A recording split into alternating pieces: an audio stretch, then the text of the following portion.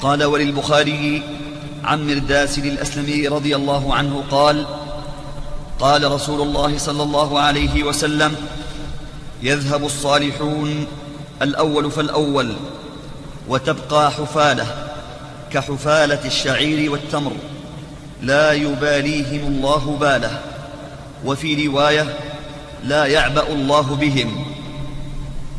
نعم فيه أن أنه كل ما تأخر الزمان يقل الأخيار ويكثر الأشرار. والغرض من هذا أن تأخذ حذرك.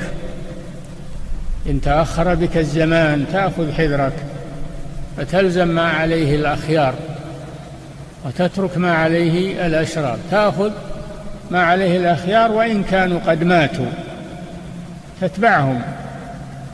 تتمسك بطريقهم وتترك ما عليه الأشرار وإن كانوا كثيرين لا تدخل معهم. هذا يحتاج إلى صبر لأن اعتزال الناس يحتاج إلى صبر وثبات. ولكن من يتق الله يجعل له مخرجا ويرزقه من حيث لا يحتسب. نعم.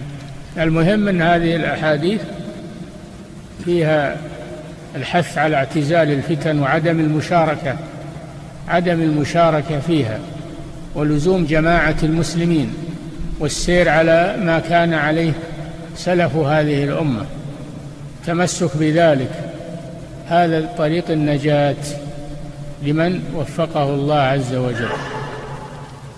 فلا تغتروا بالغوغاء ولا تنخدعوا بوعود الكفار وحصول الحرية كما يقولون والديمقراطية. هذه كلها كذب مواعيد كاذبة. ما يحصل الخير إلا بالإسلام مهما قالوا.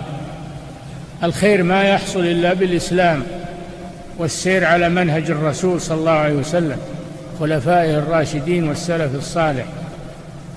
ما يحصل الخير إلا بهذا.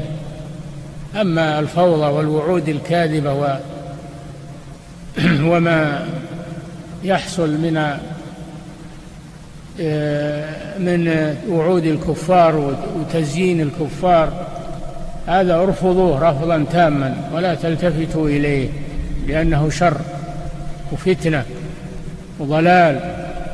نعم.